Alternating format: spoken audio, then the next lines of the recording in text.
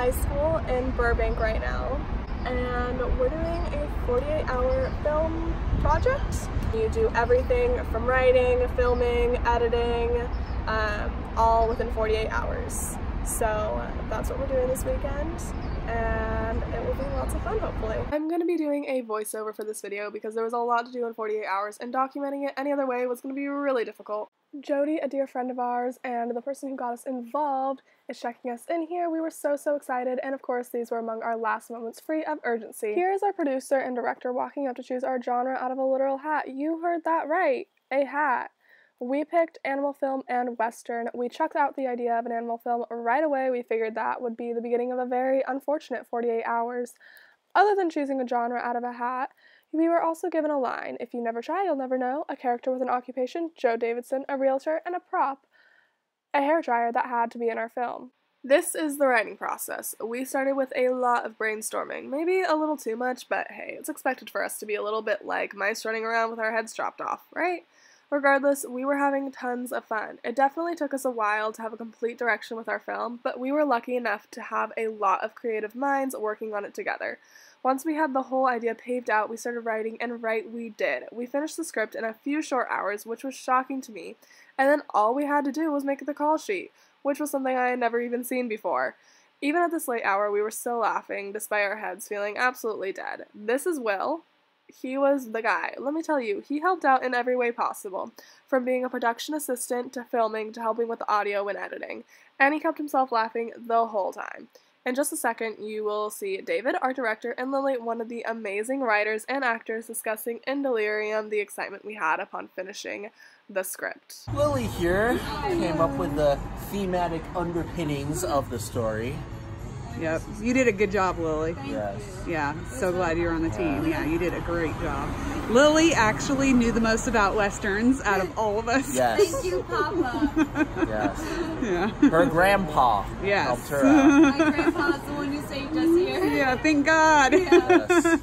I provided I provided the initial concept of uh, The story. of the Asian cowboy come being trained Yes.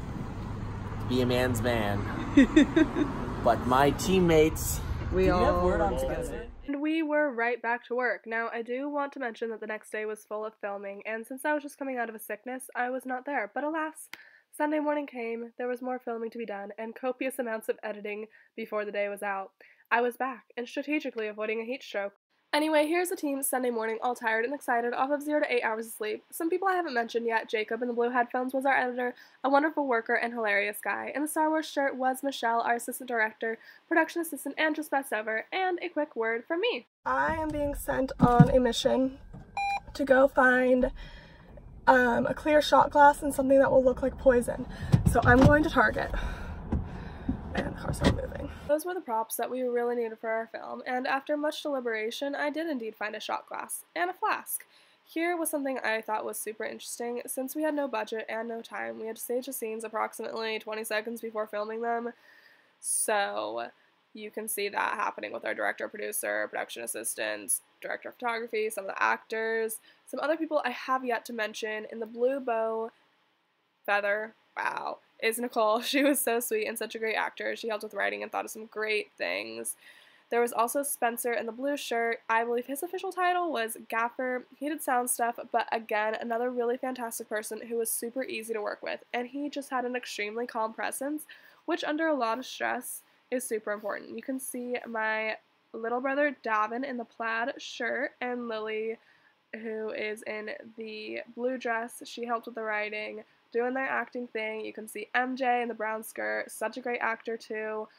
You can see our director, who also starred in our film, Jody in the orange bonnet doing her thing. It was just so cool to watch everything go down and everything come to life since I am not someone who would be part of production. I just like to write. this was it. We were tired and proud, and after helping in any way we could, we let the editing gurus do their magic in about an hour. It was a rush out of the door, and they got there just minutes before the deadline with one thumb drive and a feeling of pride. And that all brings us to here. It's the next day. Um, it's over. It's been turned in. Hopefully, our um, video will play and will work.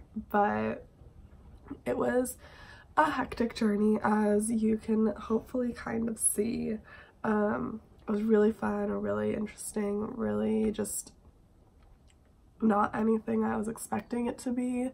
Um, and I learned so much and I met so many cool different people. Um, so that's awesome. And it was really, I don't even know what to say. I'm really glad that I did it. And I'm glad that I got experience. And I would say that I would do it again.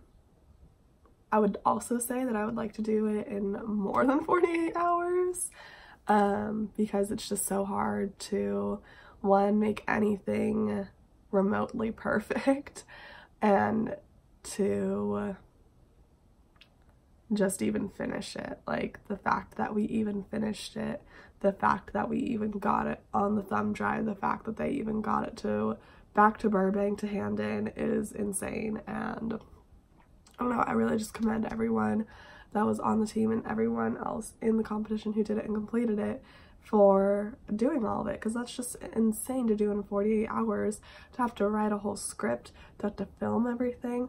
All the post-production is just really really insane. So yeah i think um isn't gonna quite be the end. I'm gonna include i think some shots from our, our um when we go and like get to see our film. I'll maybe include some shots from there, but I'm just gonna be it for the talking. So thank you for watching and I hope that it was interesting and that maybe you're intrigued in doing something like this too.